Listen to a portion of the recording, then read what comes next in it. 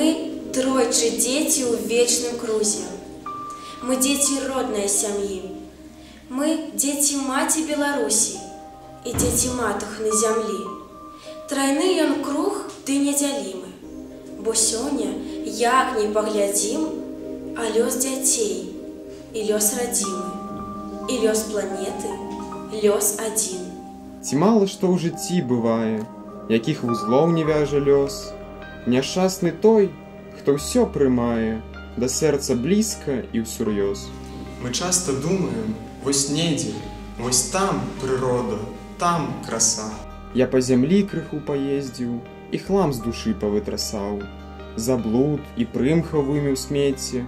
Мне смешна чуць пра нейчы рай. Для ўсіх і кожнага на свеце найпрыгажэйшы родны край.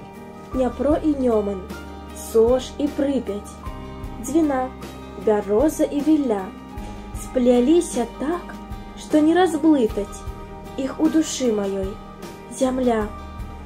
Мой край, мой рай бульбяна жытны, зеленатулы, залаты, як спеў матулі старажытны, як песня любай, малады.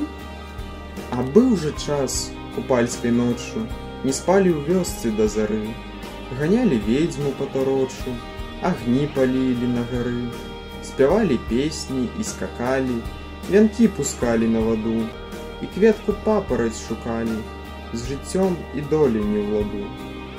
Для нас прыроды болей мілай, чым беларуская няма. Яна ж усіх нас надзяліла душой такою, як сама.